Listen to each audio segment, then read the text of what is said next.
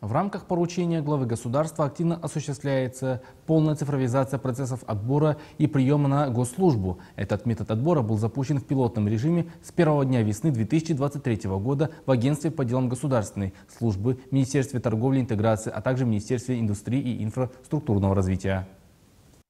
До конца 2025 года этот метод будет поэтапно внедрен во всех государственных органах страны. Приказ о некоторых вопросах назначения на государственные административные должности был дополнен, и временные правила отбора для конкурса «Б» были уточнены.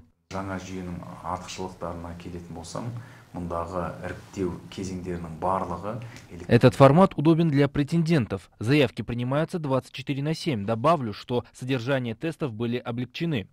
К примеру, подготовка на знание законов и нормативно-правовых актов занимает 4 месяца. Кандидаты проходят собеседование на оценку личностных качеств и тест на знание цифровых технологий. По набранным баллам и их итогам кандидат проходит следующий этап – с 1 января 2025 года местные исполнительные органы, местные представительные органы и ревизионные комиссии Жамбулской области перейдут на новую систему отбора. Новая система будет реализована на открытом внешнем портале ЕКЗМЕД, который позволит кандидатам участвовать в конкурсе в онлайн-режиме за исключением заранее определенного собеседования.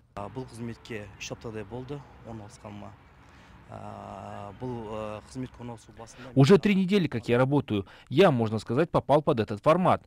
К тестированию заранее готовился, зарегистрировался на портале Еказмет. Он доступный. Там я предоставил свои данные. Потом я узнал, что прошел. Таким образом, отбор через ЕКЗМЕТ нацелен на полное исключение влияния человеческого фактора. С момента внедрения новой системы в пилотных проектах в области уже 9 граждан устроены на государственную службу. Ильдар Гизатуллин, Руслан Санныбаев, Айкон Ахпарат.